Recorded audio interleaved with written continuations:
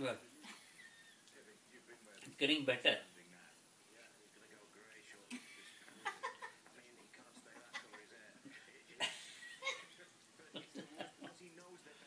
சரி I never seen anyone so animated,